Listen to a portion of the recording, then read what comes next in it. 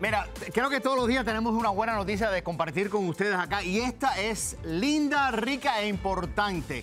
Siéntese quien pueda, ha sido nominado a los premios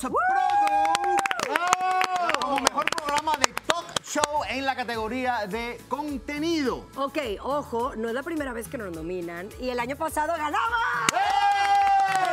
Bueno, bueno, estamos nominados que ya es ganancia este año. Claro que sí. Ahora, les cuento que esta tarde eh, Produ reveló su lista de finalistas en 138 categorías, celebrando lo mejor del entretenimiento hispano y aparecemos, no quiero repetirlo, pero aparecemos en esa. No, gracias, gracias de antemano por tomarnos en cuenta.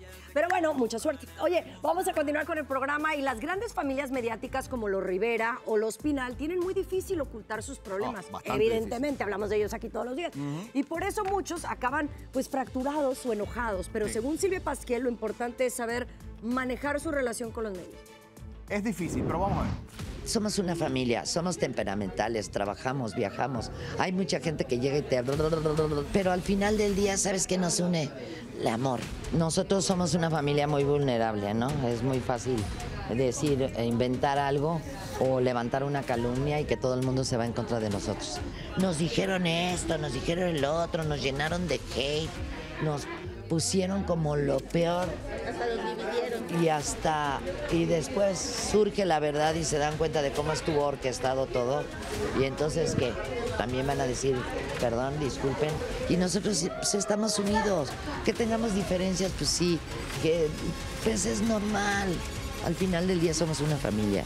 Somos una familia muy poderosa y muy muy este de muchos de mucho carácter Y hablando de dimes y diretes, Mayela Laguna y el litigio que sostuvo durante meses con el hermano de Silvia, Luis Enrique Guzmán, por la paternidad del pequeño Apolo, llegó a su fin la semana pasada y las pruebas salieron negativas.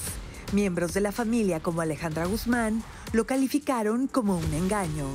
Quizás el engaño fue más para ustedes. Se engancharon, se dejaron engañar, eh, este, engañar. Nosotros ya sabíamos cómo estaba la bronca. Exacto. Eh, justo decía tu hermano que pues a él pues sí le afecta de alguna manera, ¿no? Ahorita lo veo bien, lo veo bien, lo veo ya como que pegando las piezas del rompecabezas, lo veo más, este, más tranquilo, lo veo. Claro, eh, esto ha venido a darle una tranquilidad y una paz. Lo veo, lo veo mucho mejor y, y eso me da gusto. Sí, pues cuando tú amas a alguien por sobre todas las cosas y de repente te, te pasa una, una situación como esta, pues es muy difícil superar, la verdad.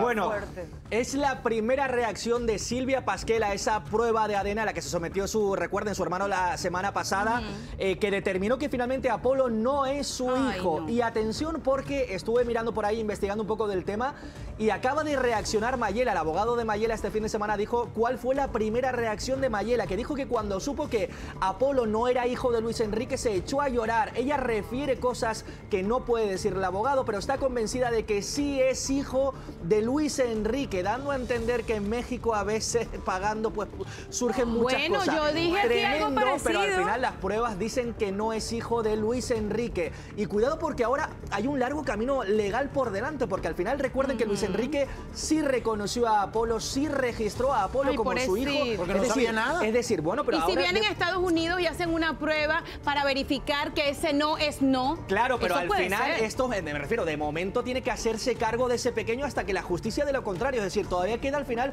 un proceso largo ¿Y el legal amor? y él tiene que hacerse cargo y que seguir pagando la manutención del niño. Además que Así que él quería ser como un tío para, ¿Qué para tío el niño y y qué un padrino también para el niño. ¿Qué Ah, tema este Ay, la verdad que duro? un este largo tema proceso. me pone a mí muy, muy triste para empezar la Sí. semana. Mejor les cambio de tema. Por favor. Y hablamos de alguien exuberante, guapa, Marjorie de Sousa, que tomó una importante decisión.